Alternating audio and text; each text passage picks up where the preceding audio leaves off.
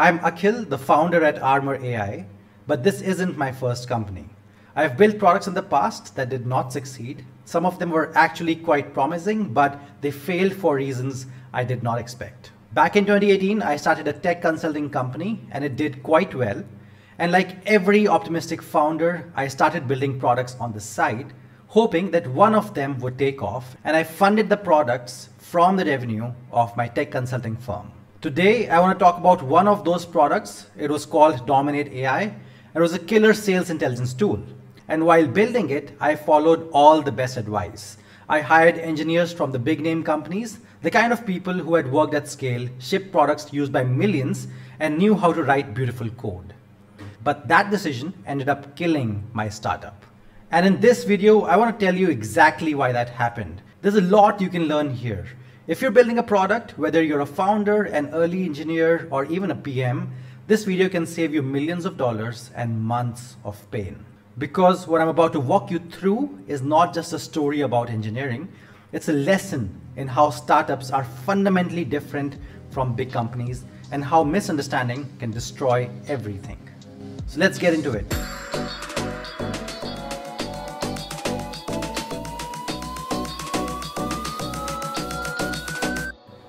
Problem number one, over obsessed with the tech stack. So engineers from big firms tend to optimize for elegance, not urgency. My team created perfect separation of concerns, front end, back end, cloud, infra, but we didn't even have 10 users. They spent weeks picking the right framework instead of shipping something people could actually use and give us feedback on. They debated API structure, but we didn't even know if the product had any real value. At an early stage startup, you don't need a scalable architecture. You need a working prototype. Problem number two, lack of end-to-end thinking. The engineers I had hired had always worked in big teams. Someone else handled the design, someone else did the testing, someone else set up the cloud. So when they were asked to build features end-to-end, it broke them. They waited for tasks to be assigned, they didn't take ownership. Nobody said, hey, should we even build this feature? Is there a faster way to validate this idea? They saw themselves as engineers, not as problem solvers. Problem number three, over-engineering kills velocity. We had eight microservices running on Kubernetes before we even had PMF. CI/CD pipelines with 14-step security scans when only three people were using the product. We deployed a custom machine learning stack before we even had figured out if the user needed AI in the first place. This is what happens when you bring late stage habits to an early stage battlefield. Problem number four, premature scaling. We built features for millions of users even though we had less than 10. Load balancers, redundant failover zones, auto scaling groups, all set up before the first real customer used the product. And if you think about it, our goal wasn't to solve today's problems. It was to future proof for an imaginary tomorrow. And what I learned is startups die from indigestion, not starvation. We were bloated before we even got hungry. Problem number five, tool obsession over problem solving. We spent days setting up Prometheus, Grafana, tracing tools, and observability dashboards thinking that that should give us a lot of data, right? But even then, we couldn't tell what our most used feature was or why users were churning. We were able to track every metric except the one that actually mattered. Do users even love this? Problem number six, fear of messy work. This isn't clean enough, this violates solid principles, we should abstract this logic. The engineers that I had hired avoided quick and dirty code even when that's exactly what we needed to move fast and test. At a startup, ugly code that delivers value beats perfect architecture that delays learning. Problem number seven, too many dependencies too early. We pulled in 50 plus NPM packages, complex authentication libraries, multiple message queues just for a login and a dashboard. The thing is, every dependency came with its own complexity, bugs, and patch cycles. We were building it like it was an open core product, when in fact what we needed was speed and simplicity. Problem number eight, refactoring as a full-time job. Every few weeks, the code base was torn down and rebuilt. They said things like, we're not happy with the folder structure, let's rewrite this in a cleaner way, this design pattern scales better. The problem is, users were not asking for this, and users did not care what the project structure looked like. Users want to solve their own problems. And what I realized was that the engineers were solving imaginary problems, not real ones. Problem number nine, this is my favorite, blindly following best practices. We followed 12 factor app guidelines, DDD, hexagonal architecture, like it was gospel, but no one asked whether those principles applied to a three person team with no PMF. They did what they were trained to do follow rules and not challenge assumptions. Problem number 10 over engineering security. We implemented OAuth 2, rotating JWTs, encrypted session stores, anomaly detection. For a product with zero paying users, security is important, but at this stage, we needed to prove utility, not pass a pen test. And this ended up costing a lot of engineering time. Now, these are all the problems that we faced, but as I mentioned earlier, I've learned a lot from these. And I now want to go over some things that you can take away so you don't repeat all of these mistakes. I hope you're enjoying this video. I just want to take a quick minute to tell you something important. I'm starting a new engineering leadership cohort, which is meant for people aiming for engineering leadership positions. In this cohort, you don't just learn technical stuff like advanced system design, cloud architecture and data architecture, distributed systems, AI-driven system design, but you also learn important things like how to build a team, how to hire the right engineers, how to rally them around an idea, how to get them to build great products, and how to think in a business driven way. It starts on the 1st of June, and there are very limited slots, so there's extremely high demand. But there's a link to the application form in the description of this video. Please fill it out, and I'll get in touch with you only if you're a great fit. This is a great opportunity to learn with other like minded people. All right, now back to the video. Solution number one set hard limits on engineering effort per feature. In a startup, time is your scarcest resource and not engineering talent. If a feature takes more than two to three days to ship, that's a red flag. At this stage, you're not building to scale, you're building to learn, which means you don't have to build massive features, just a scrappy version of the feature you want to implement. Every feature should have a budget in terms of time and complexity.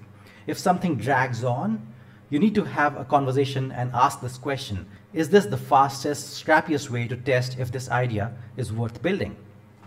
Speed of iteration matters way more than polish, always. Solution number two use constraints to get things done.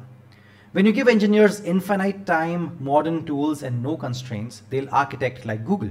But give them tight timelines, minimal tooling, and imperfect conditions, and suddenly magic happens. Real innovation comes from constraints like building a dashboard in just one day using a React.js template, or validating a feature with zero backend, just a shared Google Sheet, or mocking the API response manually before building any infrastructure. Constraints force you to think about the product and not just the code. Solution number three, redefine success as learning and not code quality. Early stage success is not measured in uptime or clean abstractions. It's measured in feedback loops. You don't need scalable architecture, you need fast signals from real users. A rough, unscalable prototype that leads to 10 pieces of user feedback is more valuable than a clean production ready system that no one uses. The goal is not to build right, it's to build fast enough to know what right even is. Solution number four, shrink the roadmap ruthlessly. Most startups overbuild. You don't need a roadmap with 15 features. You need a plan to validate just one thing. Before building anything, ask is this the riskiest assumption we have right now? Does this feature teach us something new?